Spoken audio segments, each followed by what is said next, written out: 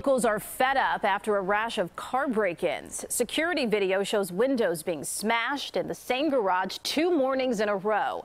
CBS 2's Tim McNicholas is live near Sheffield and Belmont with more on why some residents say they want changes. Tim. Yeah, Erica, police say someone broke into seven cars in this parking garage behind me between Saturday afternoon and Monday morning, and the problems did not stop there. Security video shows a man breaking car windows in the garage around 2:30 Monday morning.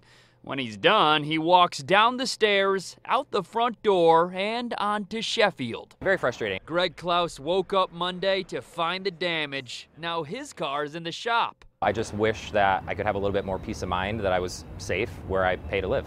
Klaus called the police Monday morning, but security video appears to show the same guy returning Tuesday morning. You see him break the window of a car and rummage through it before walking out. You can't patrol everywhere all the time. I certainly understand that, but I think some more presence in the neighborhood would be great. Klaus says he doesn't keep any valuables in the car, so the man only took a couple dollars. Police say in another garage, officers found this broken window around 4:30 Monday morning near Addison and Halsted, less than a mile from Klaus's parking spot. At this point, I'm, I'm starting to wonder if it's as safe a neighborhood as I thought it was. Klaus says he used to park about a block away from here until last fall when someone stole all four tires off his car. I'm paying what I think is a, a, good deal of money to park here, think it's safe and secure. Again, I thought I was taking the preventative measures to keep something from happening to my car again, and just a few months later, I'm, I'm here having to deal with it all over again.